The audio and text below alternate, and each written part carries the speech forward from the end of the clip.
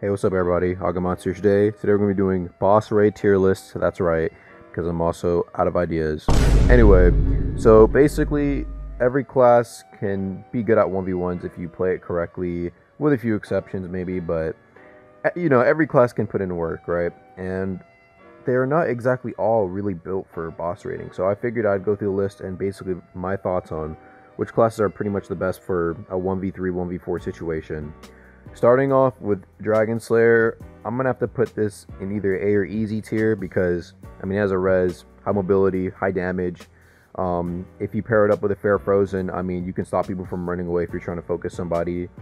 Easily you can like if you're on top of Force Fall and you knock somebody, you can just grab them, like wing soar up and then just drop them uh, from the cliff, and that's a grip right there. You don't even need to worry about being able to grip people. I mean it's just pretty great overall. I think for now I'm gonna put an easy tier. Lapidus, I'm probably gonna have to put that in garbage. I'm not gonna lie. I see a lot of Lapidus like just get gripped pretty easily. I mean, yeah, the hammer can put in work. Not gonna lie, but at the same time, when you're fighting like multiple classes and you just got multiple people on you, the lack of mobility is gonna kill you. Deep Knight, uh, I might put that in C tier or garbage. I mean, Deep Knight's pretty cool because you know you can do those crazy combos, but there's just no mobility on it at all. I mean, at least you'll be able to one combo like a faceless if he gets, you know, hit in your chain pool. But most of the time, when you're going to land those combos, the person's just going to run away and you're not really going to be able to do anything about it.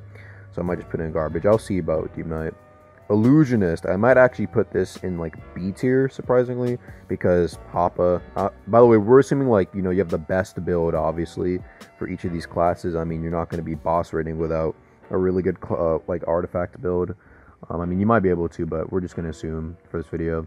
Master Illusionist, though, uh, we can put that in beats here. You have Hoppa, you have a lot of God spells. You don't really have to fight that much. Um, you can easily Dominus and spawn some Shriekers in to try and take somebody out, but then again, you don't really have a lot of opportunities to actually fight back. I might put it down in C tier because you're not really going to be boss raiding. You're just going to be hopping around a lot and um, it's really more so to like add in support you know i mean? If you have like more numbers versus being able to like 1v3 1v4 you know what i mean?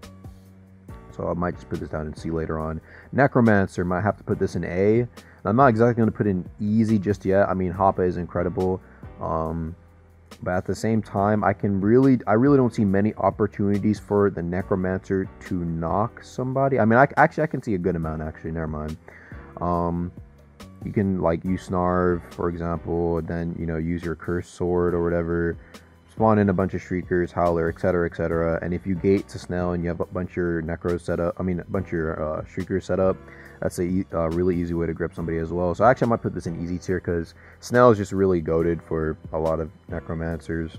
Shinobi, easy, easy tier. Like, uh, I don't really need to say anything else. I think everybody knows. Shinobi is just that boss raid class. Um, easy mobility, lots of free damage, and a resurrection.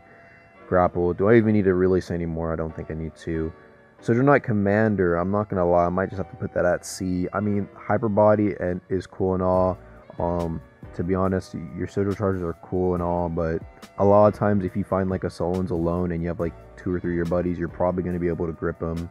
Unless he's that good, you can like gate away or snap gateway away. You don't really see them boss rating as much because kind of slow and you can cancel their charges by hitting them so they're not really going to be able to put out much combo like they can they can like hit a one combo on somebody but that one combo can be stopped if like a d sage like lightning drops them for example. So um yeah i, might just uh, keep them at c tier. Uh, dsk probably gonna have to put that in c tier garbage. I mean lots of health uh, good with runes but don't get me wrong i don't really see it being able to boss raid many people. If anything you're probably going to be running away to your mirror or some shit like that if you get jumped by like three or four people. Not really the type to be fighting a lot of people. Oni, probably gonna put this in B or C.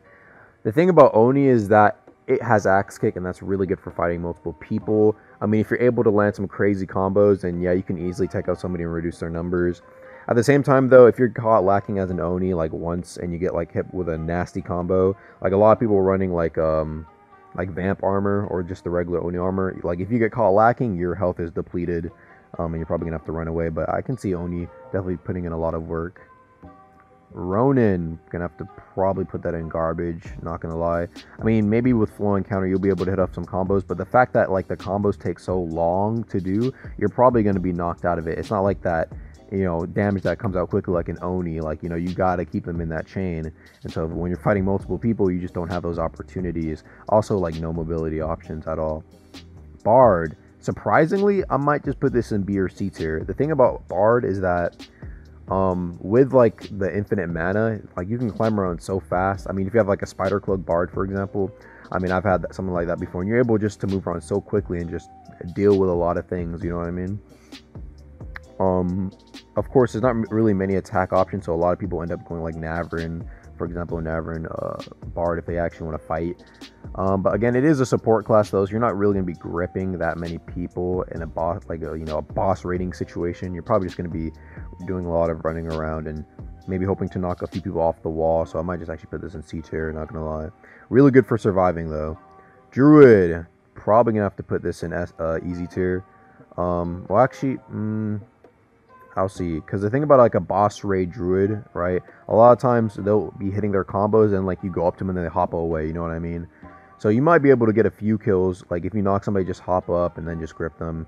Um, you might be able to do a couple kills with that. But at the same time, it doesn't really have uh, the same thing Necromancer has with like Shriekers and shit and Bounds. Um, and so if there's like a lot of people coming to you, like it can be kind of difficult to try and deal with all of them. You're probably gonna have to deal with them like one at a time. And I don't know, you don't really have that many uh, chances to like maybe try and knock someone unless you like focus someone down. Perhaps so, but uh, I'll, I'll, see about Druid for now. But yeah, Druid is really solid um, with Hoppa. Anyway, D Sage. I think it's a solid A tier uh, for D Sage. I think with a Spider Cloak D Sage, you're pro. Oh, actually, let me think. With a Spider Cloak D-Sage, you are able to do some nice combos. Um, but then again, at the same time, not a lot of health. I- will have to think about D-Sage in a second. Let me let me move on to Abyss. Garbage tier. Not gonna lie, man. Like they don't even need to say anything. Like you don't even have the option to run away. Um, you can only just jump into the abyss, and that's if you're like near Desert Three. Um, so I don't know. Abyss is just not really that great in general for uh, ganks faceless. I think I can put this as an easy, easy tier. Um, again, high mobility, high damage. Yeah, sure, you're gonna be you have low health, but like you can easily pop pots, or like if you're a vampire, you can just run away for a little bit. Like they're not gonna be able to catch you. Um, I think it goes to show that you know Face is just one of the best classes in the game for shit like that. Church Knight. This represents like CKDKs, CK Necros, for example. Um, just a lot of hybrids and i think for hybrids in general i'm gonna put that like a c tier.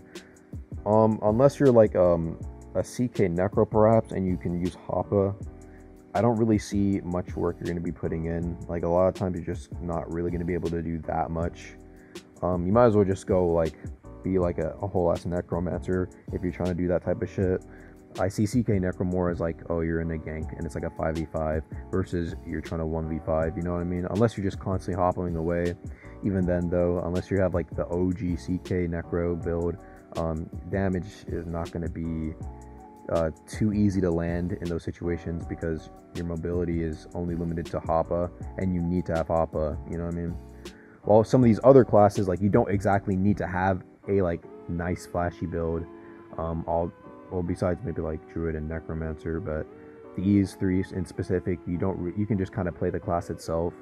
And um, you actually will be able to do a lot better than most of these other classes so that's also something i'm trying to keep in mind. Not just the max build but the classes itself. I'm actually not going to d-sage to b or maybe c tier actually i don't know. I'll keep it in b tier. I'm a little bit unsure about d-sage because a lot of people have a spider cloak d-sage but um, remove the spider cloak and uh, you're getting you're gonna get like one comboed probably by like a deep knight on the other team. But at the same time, you've got that spider cloak. A lot of them, you know, move on really fast. Hit a lightning elbow, hit a lightning drop. Just a lot of moves that you can just use one time and just add a snap bigness onto it for a lot of damage and then just move around. But trying to grip people can also be kind of tough. So I'll have to see. But yeah, for now, I think that's the end of my list. Feel free to agree or disagree in the comments down below. I will be responding to comments again, uh, this is just my opinion, so um, you know, don't take that, don't take everything as fact. You can feel free to disagree if you want. That's all uh, for today's video, guys. I'll see you guys later. Peace.